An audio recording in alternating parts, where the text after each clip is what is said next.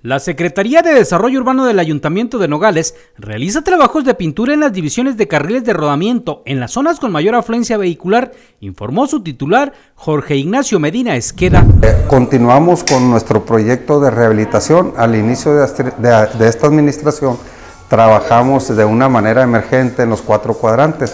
Ahorita eh, nos mantenemos de una manera constante para rehabilitar las diferentes vialidades. Eh, vamos a iniciar la siguiente semana ya con el Boulevard El Greco, otra vez retomar, retomar el, el Boulevard Los Nogales, vamos a trabajar en la Buenos Aires, en el Boulevard Centenario y también algunas áreas del área de, de las Bellotas.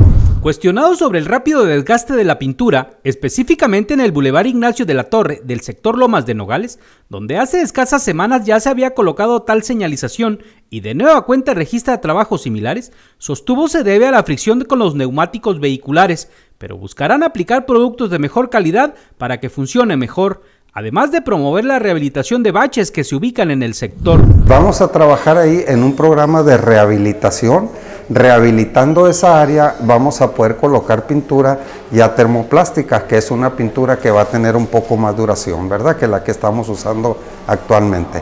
Ya con la rehabilitación esta vamos a ver ahí en donde hicimos las dos vueltas izquierdas, que es la, unión del Boulevard Nogales con, el, con la intersección del, de la San Miguel. El funcionario manifestó trabajan en el programa de bacheo puntual en diferentes colonias, con el conocimiento de algunas vialidades que son muy importantes para minimizar lo más que se pueda este problema. Más noticias, Eliazar Álvarez Gastelum.